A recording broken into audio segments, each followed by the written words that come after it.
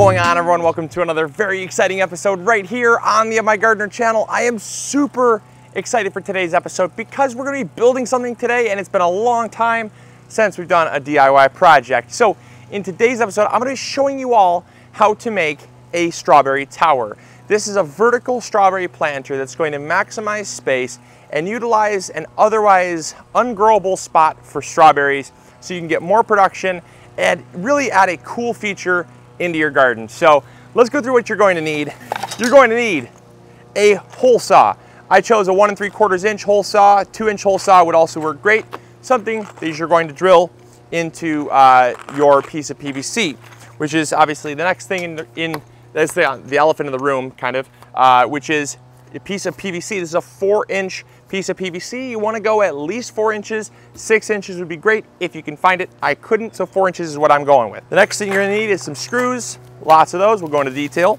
To secure your brackets, because your brackets are what's going to hang the strawberry tower. You're gonna need some caps, lots of them.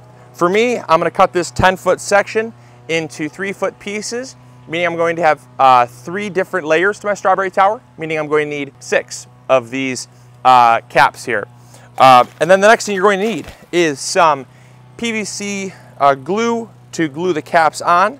You're going to need some washers that just dropped, some rope. This is some uh, super heavy duty nylon rope.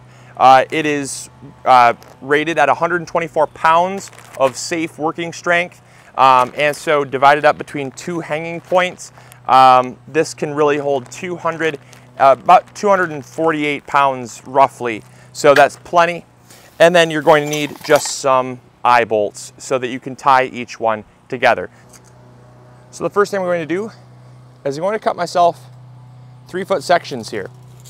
This is going to ensure that I have three levels to my strawberry tower. So the next thing we're going to want to do is actually attach our eye bolts before we put the caps on, because once you put the caps on, there's no way for us to attach the nut. We also have our washers for that purpose as well. So each eye bolt is going to get a washer and a nut so it can be secured like so. All right, so I got the eye bolts on and now we're ready to actually seal off one of the ends. I thought it was important to point out that um, I did not mention this earlier, but you're going to want to put an eye bolt on both the top and the bottom because once you have it uh, hanging vertically, you're going to need something to attach to the top as well as something to hang from the bottom. So having it on both the top and the bottom is essential. Um, and so now all we're going to do is we're simply going to take these four inch caps here and I'm going to attach it to just one of the ends because we need the other end open so we can fill it with soil. That's the very last step is to cap off this end, this end here. So while the PVC glue is curing, I'm actually going to secure the brackets to the fence post because we are gonna run out of time, so I'm gonna have to pick this up tomorrow. So I figured I might as well use my sunlight at least to uh, get something done. So, all right, we're gonna measure out 31 and a half inches between between holes, and that way uh, we have a real, um, a real square, um, real square and level mount.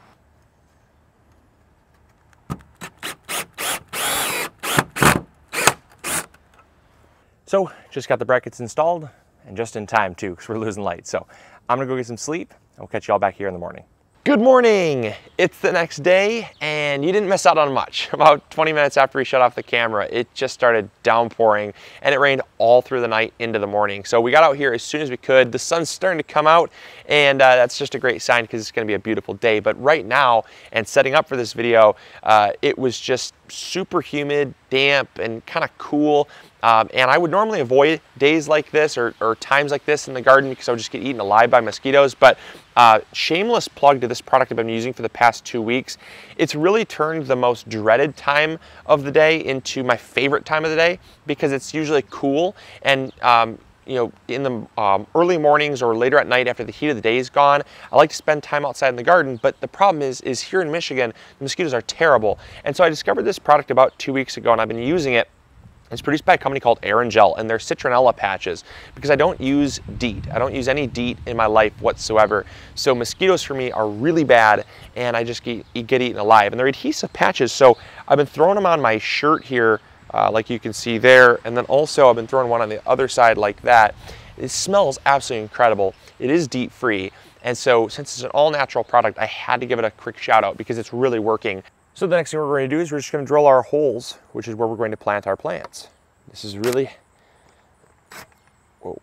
So uh, the first tube, I already did one. It was kind of a learning experience because this hole saw does not have a center auger inside. Um, so what happens, or a center bit, so what happens is if you don't start it slowly, it swirls all over the place. And I accidentally cut my thumb actually because it swirled all over the place and nicked my thumb. So um, you gotta obviously get a good one. Ace Hardware, not a great place to get a hole saw. Uh, these are Ace Hardware brand, would not recommend. Um, you owe me a Band-Aid, Ace.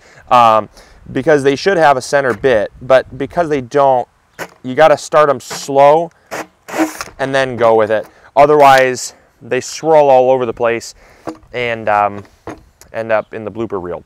So now that we got our holes drilled, all we're going to do is we're just going to take a super small bit just to put some drainage holes on the bottom.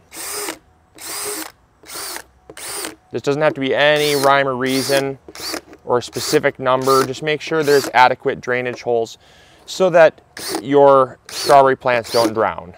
So now that we got the planting holes uh, drilled as well as the draining holes, now we're ready to fill it. So I'll get it all filled up and then we can actually seal it off.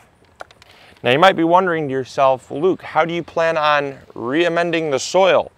Well, I plan on using a liquid-based fertilizer, a liquid, organic liquid-based fertilizer, so that um, I can keep the plants fed without having to change out the soil because perennials, or uh, strawberries are perennial, so they're going to be coming back year after year. And the soil that I'm using, it's just a really basic homemade potting mix. It's one part compost, to one part peat moss. And it's been about an hour since we last saw each other. We had one more rainstorm come through and how quickly things changed. It just went to straight bluebird skies, bright as can be. And uh, while we were waiting, I went and cut, in, cut up some rope here. Uh, I just went and cut up six pieces of rope, uh, equal length at about 22 inches or so. By the time we tie off and have some waste, um, I'm guessing we'll be left with right around like 18 inches or so, and that's gonna be perfect spacing between each level. So uh, let's go let's go get it hung so we can plant it out. Alrighty, so we're just gonna make our way through here, and I'm gonna hang up this first one just like that, and that way I don't need to tie it with any rope.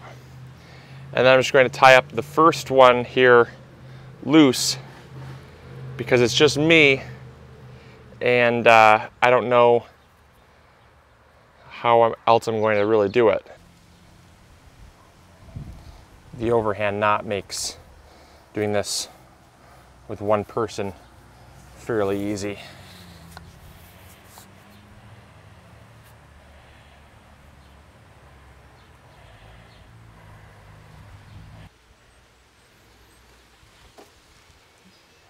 Now all we have to do is plant it out. So I've been letting these strawberry runners kind of go wild for this very purpose. I wanted to have them go into the mulch so that I can simply pick them off. And now I've got a plant that's ready to go and they will fruit next year. Strawberry runners are so great for this. And we're also going to be moving a lot of these up to the cottage garden, which is currently being converted mostly over to a uh, perennial, perennial food forest. All right, let's go plant it up. All right, and then all I'm gonna do is I'm gonna take my plant, make a little hole, wiggle the roots down in, and then backfill with my fingers, and there we go.